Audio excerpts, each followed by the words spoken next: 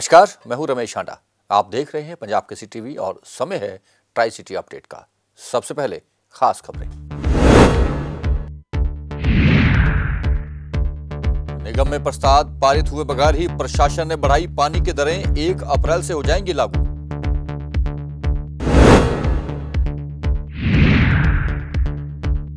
पंचकुला में सरकारी योजना के लाभ के लिए पति को मृत बताया। जाँच हुई तो ज़िंदा पाया गया। सभी पेंशन धारकों की जाँच के आदेश।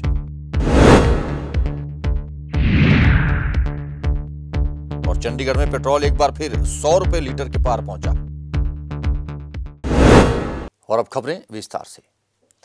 चंडीगढ़ में पानी की दरें बढ़ गई हैं, जो कि एक अप्रैल से लागू हो जाएँगी। इसके लिए अलग अलग स्लैब बनाए गए हैं। प्रशासन का दावा है कि ये स्लैब पंचकुला और मोहाली के मुकाबले सस्ते हैं। आपको बता दें कि नगर निगम में पानी के मुद्दे को लेकर उनतीस मार्च को भी बैठक में काफ़ी हंगामा हुआ था।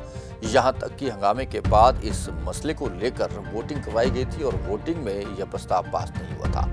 लेकिन नगर निगम और प्रशासन के बीच हुए विचार विमर्श के बाद इस प्रस्ताव को पास कर दिया गया और अब चंडीगढ़ में पानी की दरें एक अप्रैल से बढ़ जाएँगी। प्रशासन का कहना था कि 10 साल से चंडीगढ़ में पानी की दरें नहीं बढ़ी थी, जिस कारण यह विभाग काफ़ी मंदी में और घाटे में चल रहा था। प्रशासन ने एक बार फिर दोहराया कि दरें बढ़ा दी गई हैं, जिसके बाद अब शहर में 24 घंटे पानी सप्लाई करवाने की उनकी घोषणा को अमली जामा पहनाया जाएगा।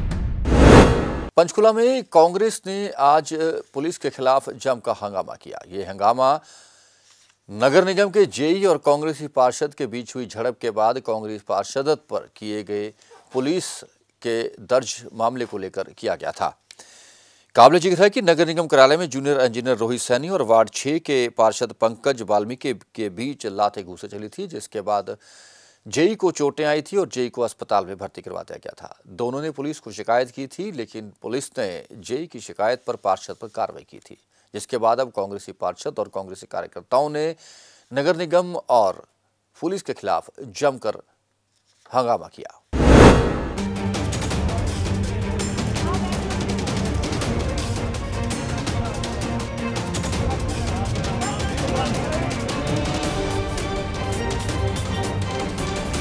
पंचकुला सेक्टर एक स्थित पंचकुला लघु सचिवालय के बाहर सैकड़ों की संख्या में कांग्रेसी नेताओं व कार्यकर्ताओं ने धरना प्रदर्शन किया। हरियाणा के पूर्व उप मुख्यमंत्री चंद्रमोहन के नेतृत्व में ये धरना प्रदर्शन किया गया।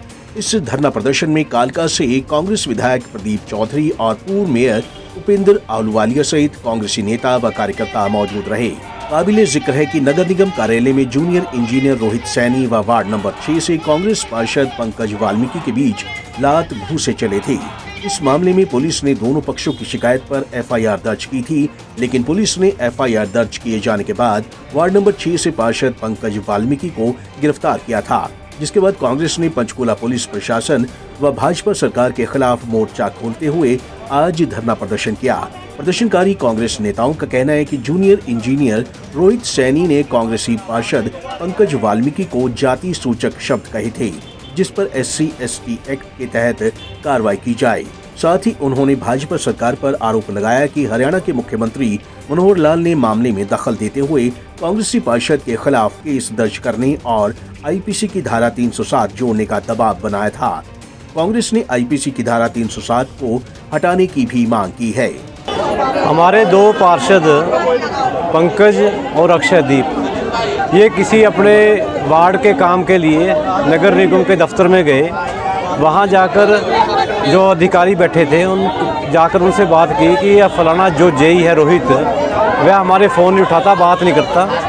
तो उस अधिकारी ने उस जेई को बुलाकर पूछा, लेकिन वो अधिकारी की बात सुनने की बजाय इन पर भड़क पड़ा और इनको उकसाने लगा। और कहीं ना कहीं जो उस दिन की घटना घटी और पुलिस प्रशासन ने जो एक तरफा कार्रवाई करके उन दोनों पर मुकदमा दर्ज किया गया ऐसी ऐसी धाराएँ लगाई गई जिसमें जमानत नहीं है। और फिर रात को पंकज पर जो तीन सौ सात लगाने का काम किया, वह कहीं ना कहीं सत्ता का दुरुपयोग हुआ।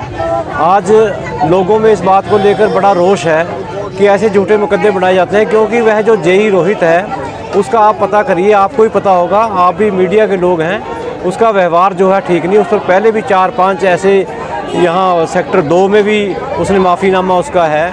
और ऐसे ही एक ठेकेदार थे, सीनियर सिटीजन, उनके साथ भी उनकी हाथापाई हुई। मतलब कई ऐसे मामले हैं, उसका व्यवहार ठीक नहीं और वह कच्चा है, पक्का भी जेई नहीं लगा हुआ। लेकिन उसकी कहीं ना कहीं सरकार में बहुत बड़ी पहुँच है।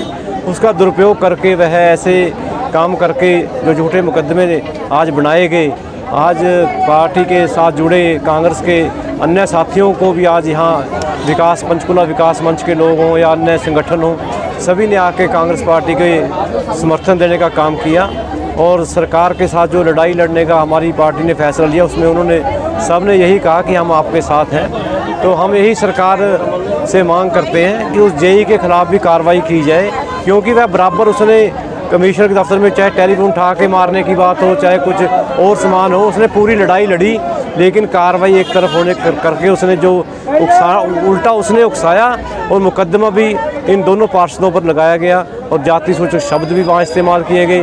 रात को 307 लगाने का काम किया।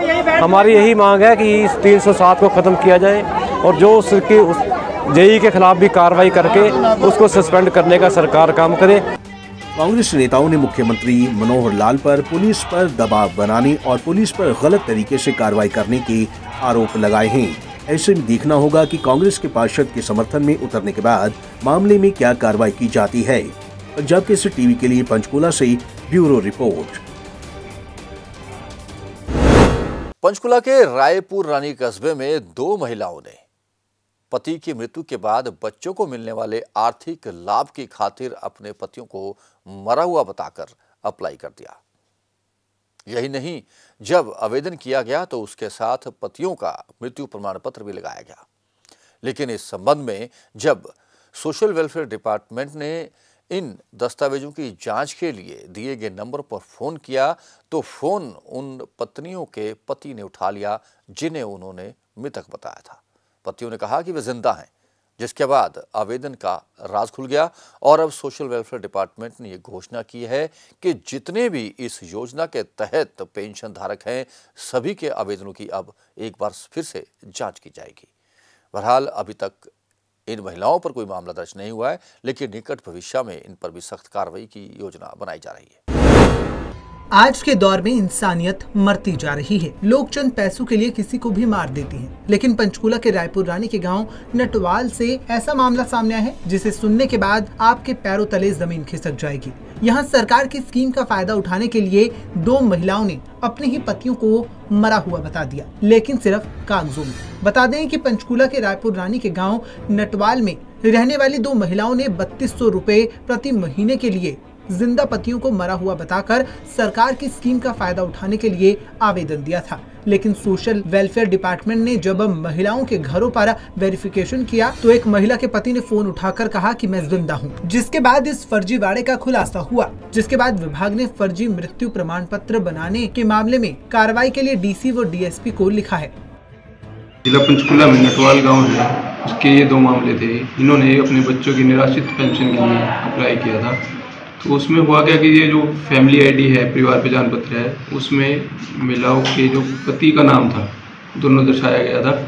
तो हमने वेरिफिकेशन करने के लिए जैसे ही उनको फ़ोन किया तो सामने जो उनके पति थे उन्होंने बात की।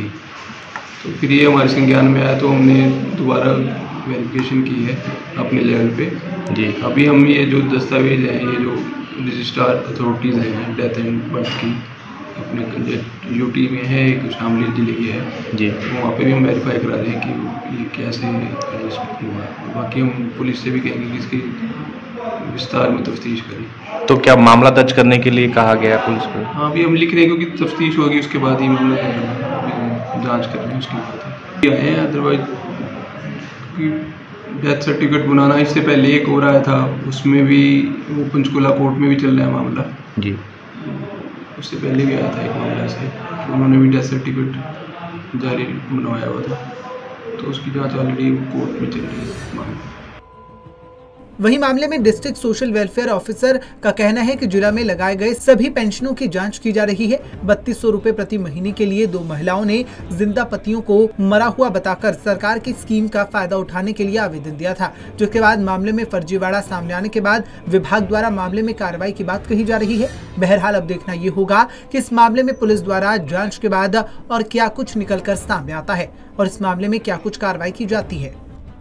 Bureau report, Punjab Kesari TV. Chandigarh में सड़कों का हाल बेहाल है, लेकिन उन सड़कों की रिकारपेटिंग जोरों पर चल रही है, जो सड़कें बिल्कुल ही ठीक थी। यह मसला उठाया है आम आदमी पार्टी की पार्षद प्रेमलता ने, जिनका यह कहना था कि कई सेक्टरों में सड़कों के इतने बुरा हाल हैं कि दो दो फुट के गड्ढे पड़े हुए हैं, लेकिन उन्हें ठीक करने के बजाय प्रशासन और निगम शहर की उन सड़कों की लीपापोती पर लगा है, जहाँ पहले से ही सड़कें बिल्कुल सही हालत में हैं। उन्होंने कई सड़कों का उदाहरण भी दिया। चंडीगढ़ वार्ड नंबर तेईस से आम आदमी पार्टी की पार्षद प्रेमलता ने शहर की बदहाल सड़कों का मुद्दा उठाया है और वीआईपी एरिया में बिल्कुल ठीक सड़कों की हो रही रिपेयर पर सवाल उठाए हैं। पार्षद प्रेमलता का कहना है कि चंडीगढ़ के कई इलाकों में यहाँ तक कि उनके वार्ड में सड़कों का बुरा हाल है। उन सड़कों की ओर ना तो नगर निगम और ना ही चंडीगढ़ प्रशासन की ओर से ध्यान दिया जा रहा है। लेकिन रॉक गार्डन, सुखना लेक से गवर्नर हाउस तक जाने वाली सड़कों को चमकाया जा रहा है। और ये सड़क ऐसी सड़क है जो पूरी तरह से ठीक है। सड़क पर किसी प्रकार के कोई गड्ढे नहीं है, न ही कहीं से सड़क टूटी हुई है।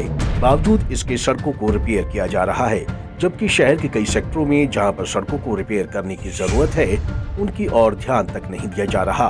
अब पार्षद ने पूछा कि शहर में ऐसा भेदभावपूर्ण रवैया क्यों अपनाया जा रहा है?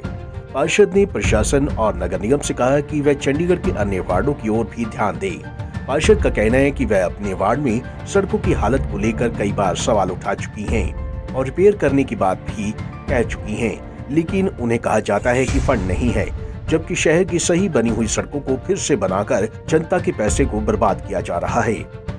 आप देख सकते हैं, जो ये कोर्ट से लेके गवर्नर हाउस तक रोड जा रही है, आप इसके ऊपर एक खड्डा दिखा दो, एक थोड़ी सी स्क्रैच तक दिखा दो। कि कितनी साफ़ सुथरी सड़क पड़ी है।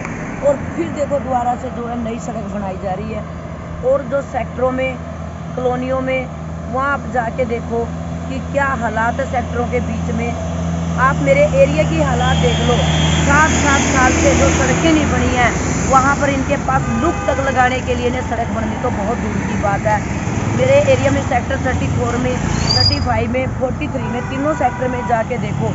और ख़ास तौर से बीबीएम कॉलोनी और 34 की तो ऐसी बुरी हालत है कि कोई भी साइकिल पे या पैदल निकलता है तो मुझे तो लगता नहीं है कि हर हफ़्ते कम से कम एक केस चलता है कि जो गिरता है या बच्चा गिरो या साइकिल वाला गिरो।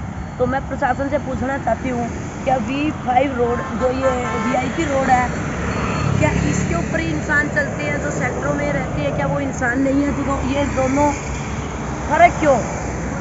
सेक्टरों में और जो है वीआईपी रोड में फ़र्क क्यों है?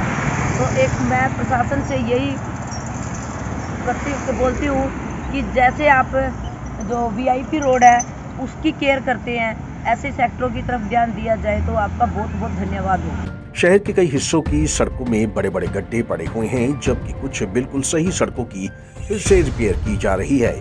और ये सब पहली बार नहीं हो रहा है। अक्सर ऐसी तस्वीरें शहर में देखने को मिलती हैं।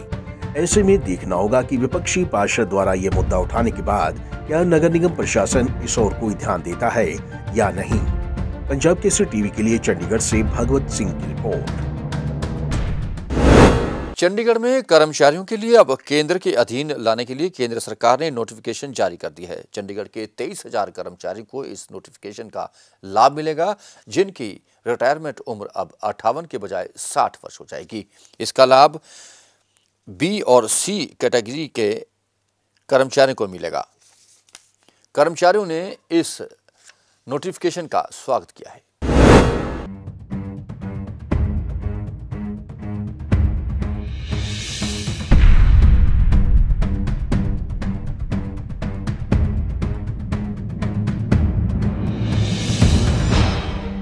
केंद्र सरकार ने चंडीगढ़ में लागू किए केंद्रीय सेवा नियम। एक अप्रैल से चंडीगढ़ के कर्मचारियों पर नियम होंगे लागू। बीते दिनों चंडीगढ़ पहुँचे केंद्रीय गृह मंत्री अमित शाह ने कर्मचारियों के लिए की थी घोषणा। नियम लागू होने से कर्मचारियों को मिलेंगे कई फ़ायदे।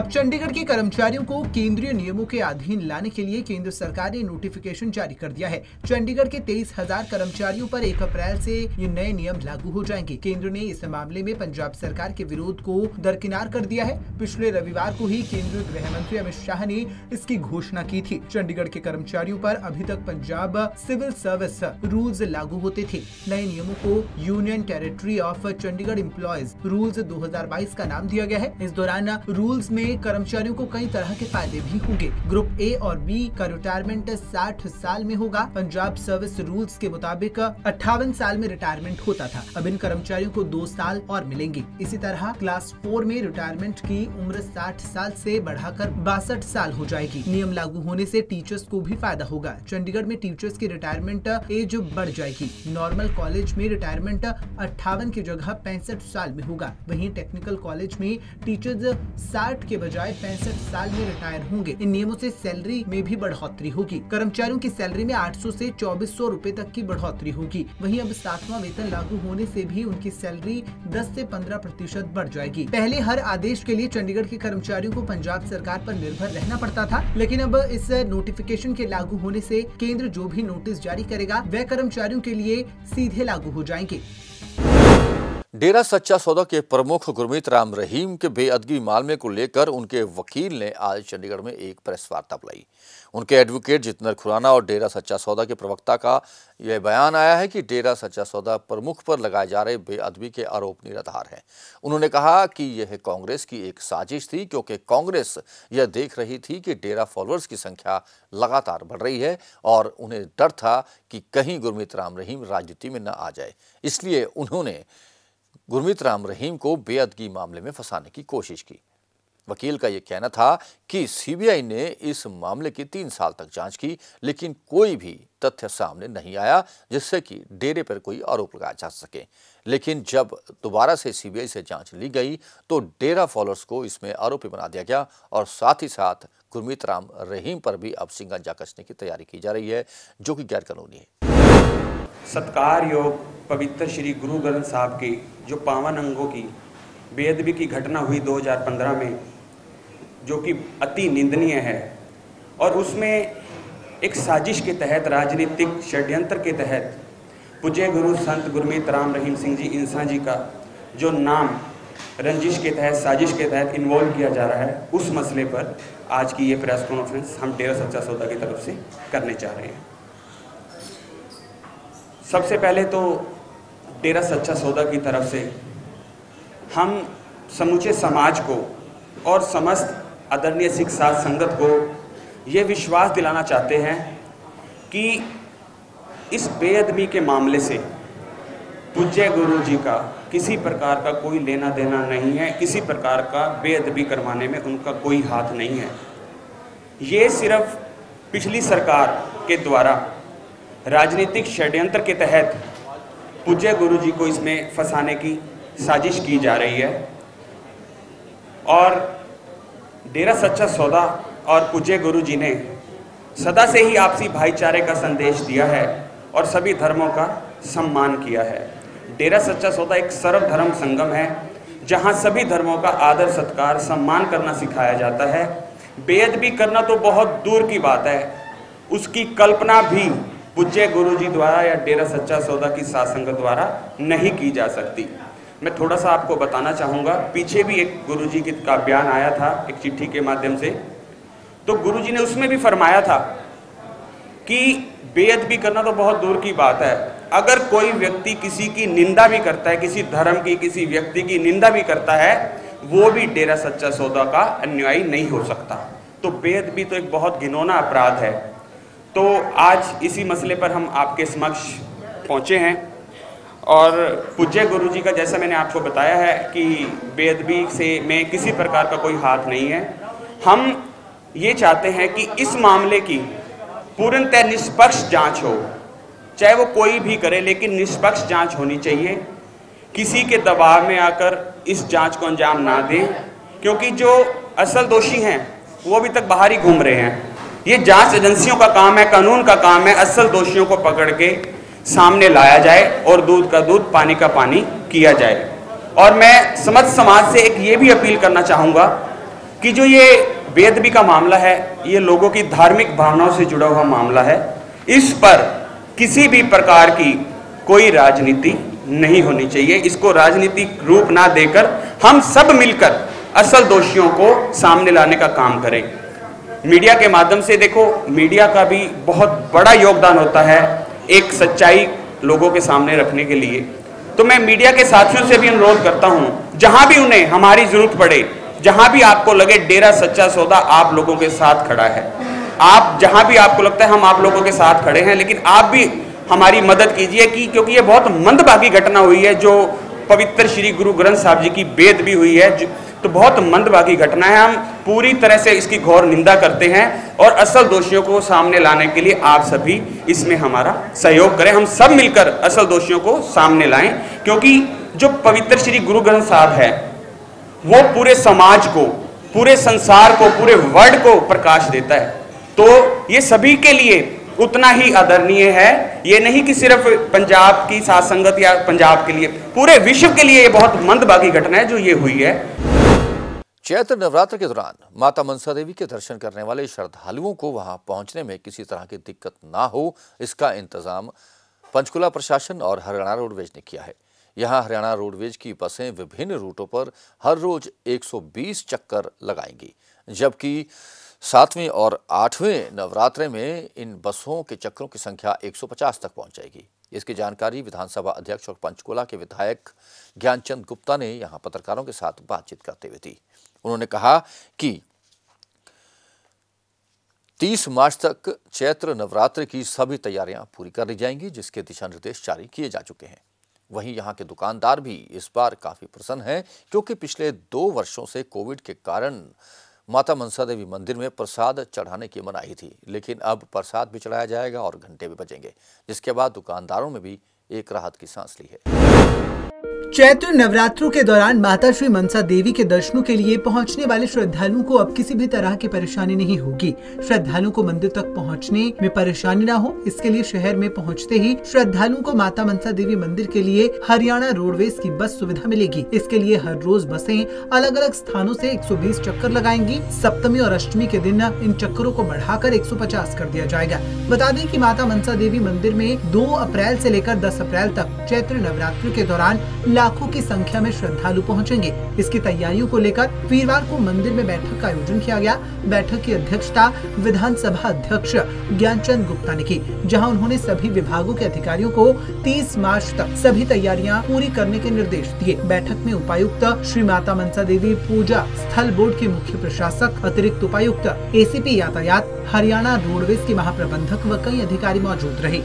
देखिए, नवरात्रे मैं समझता हूँ कि हिंदुओं का सबसे बड़ा पर्व है।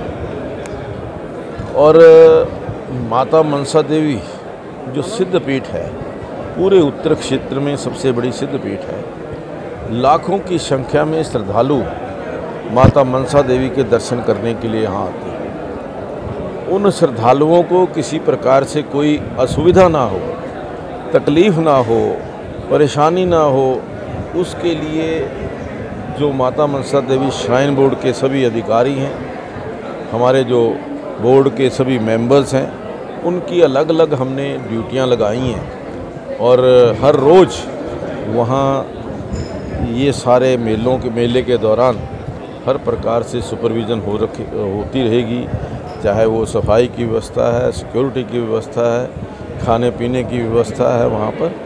इसके लिए हमने सभी अधिकारियों को जो विभिन्न डिपार्टमेंट्स हैं उन सबको निर्देश दिए हैं कि ये दस दिन जो हैं वो पूरी तरह से सतर्क रहें। तो कोविड के बाद पहली बार इतने बड़े स्तर पर जो है लोगों के आने की उम्मीद है तो हाँ ये देखिए ये बात बिल्कुल आपने कहा कि कोविड के पश्चात खुले तौर पर ये पहली बार नवरात्रों का मेला आयोजित हो रहा है। इसलिए बहुत ज़्यादा रश भी रहने की संभावना है।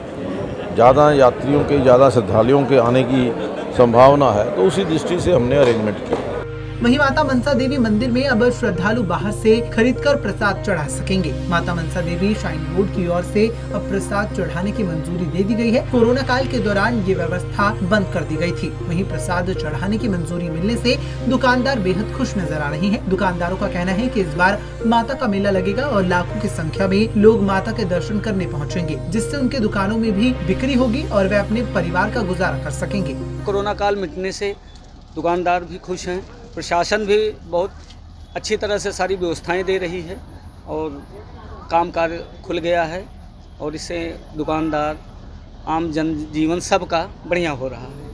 आपका इस लगता है कि इस बार प्रसाद बिकेगा? हाँ जी हाँ।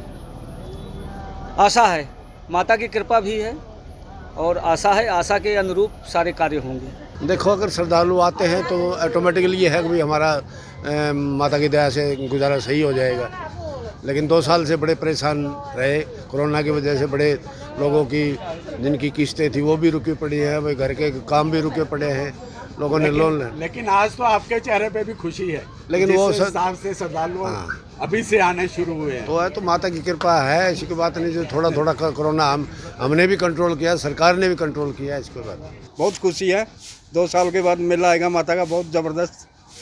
हाँ जी हाँ जी हाँ जी। तो आपका घर परिवार भी चलेगा? हाँ हाँ सब चलेगा जी। बाकी बहुत बढ़िया जी। बहुत अच्छा काम रहेगा।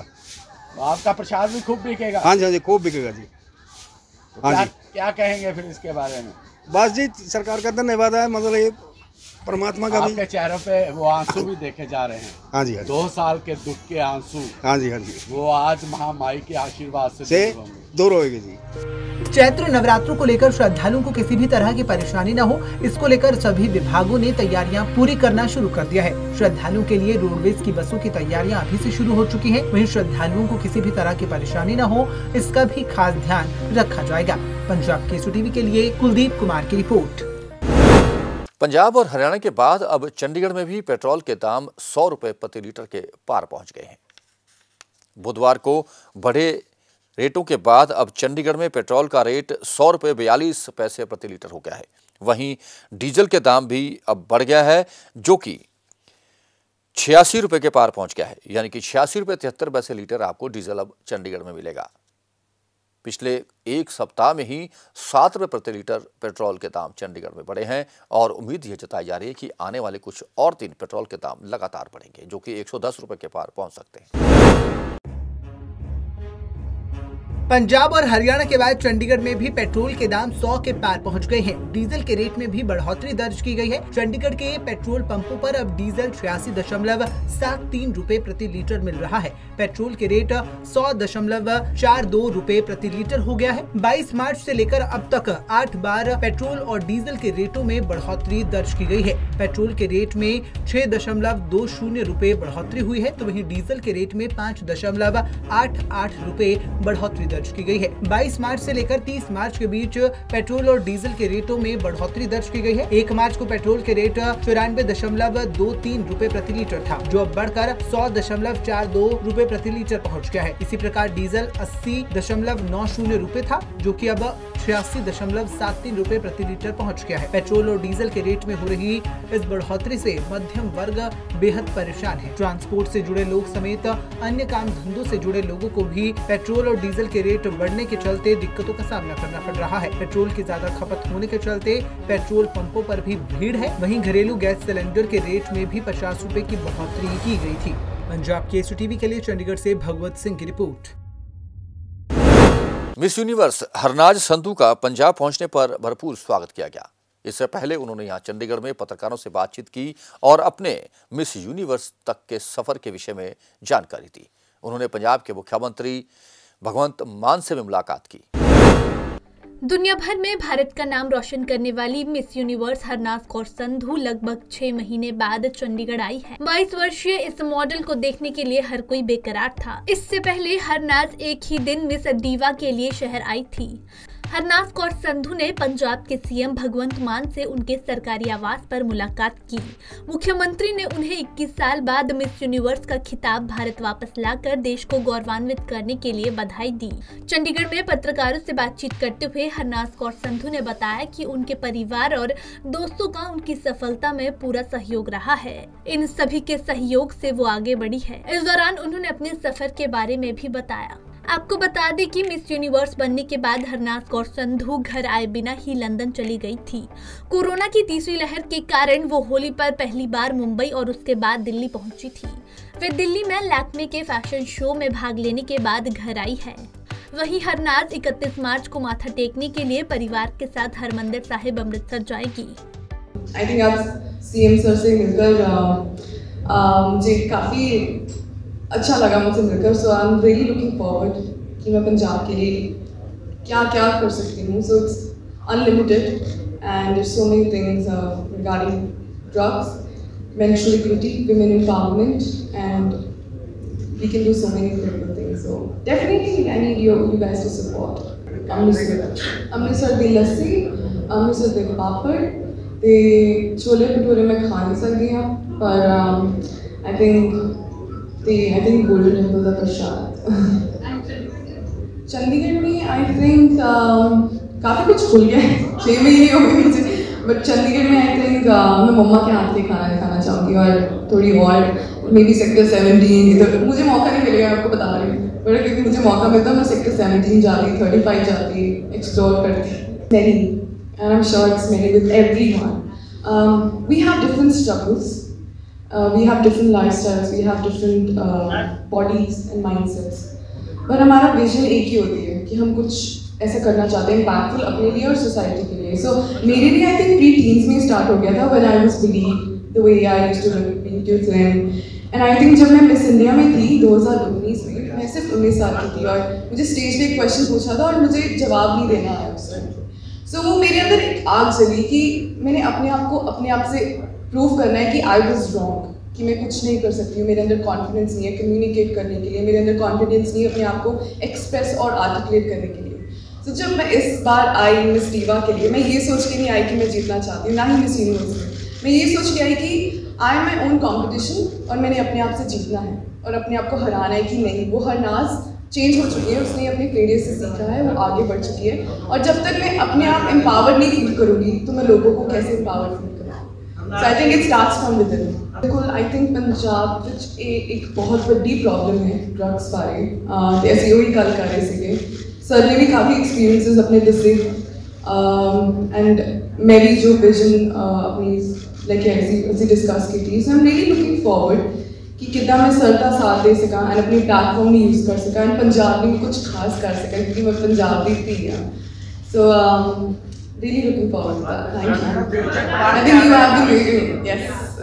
आपको बता दें कि पिछले साल हरनाथ कौर संधू के सर पर मिस यूनिवर्स का ताज सजा था। इससे पहले वे मिस डीवा यूनिवर्स भी रह चुकी है। हरनाज मूल रूप से गुरदासपुर की रहने वाली है। फ़िलहाल वो अपने परिवार के साथ खरड़ में रह रही है। पंजाब केसरी टीवी के लिए भगवत सिंह की रिपोर्ट। और मौसम ट्राई सिटी में बुधवार को अधिकतम तापमान छत्तीस दशमलव आठ डिग्री सेल्सियस और न्यूनतम तापमान सत्रह दशमलव चार डिग्री सेल्सियस रिकॉर्ड किया गया। मौसम में नमी की मात्रा 60 फ़ीसदी रही। आने वाले 24 घंटों में भी मौसम में किसी भी तरह का कोई परिवर्तन नहीं आएगा। वर्षा की कोई संभावना नहीं है। दिन में धूप खिली रहेगी, जिससे तापमान और बढ़ेगा। ट्राई सिटी अपडेट में अब तक के लिए बस इतना ही। देश विदेश की खबरों के लिए और अन्य जानकारियों के लिए आप बने रहें पंजाब के सी के साथ। हम फिर हाजिर होंगे ट्राई सिटी अपडेट लेकर। तब तक के लिए रमेश को पूरी टीम के साथ दीजिए इजाज़त। नमस्कार।